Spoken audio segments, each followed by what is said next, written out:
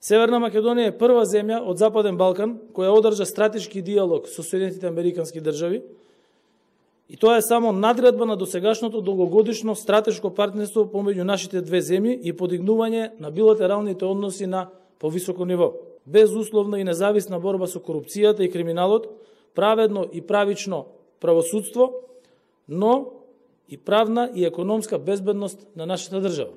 Првата област на интензивирана соработка и приоритетна активност во рамките на планот за активности е борбата против корупцијата и владењето на правото. Утврдивме и посебно поглавје во планот за активности што се однесува на имплементацијата на антикорупцијската политика, предвидено е зајакнување на соработката во областа на одбраната, сојузништвото во рамките на НАТО и другите безбедносни сегменти. Меѓу другото, тоа подразбира одржување заеднички обуки и вежби со САД, како и подршка за модернизација и опремување на армијата на Република Северна Македонија.